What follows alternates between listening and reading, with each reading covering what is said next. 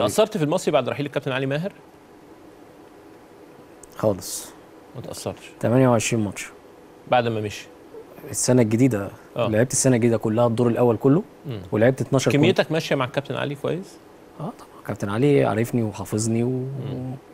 يمكن كنت تتمنى تروح معاه فيوتشر؟ كنت أتمنى. هو يمكن هو كابتن علي. انت انت لفتني لغاية ما عرفت مين الشخص يعني.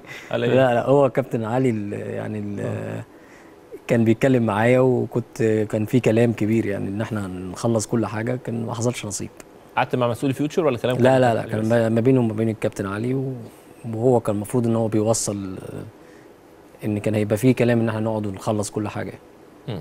بس بس ما حصلش نصيب لكن آه أنا اللي بس اللي زعلني إن هو كان حافظني يعني وعارفني يعني مم.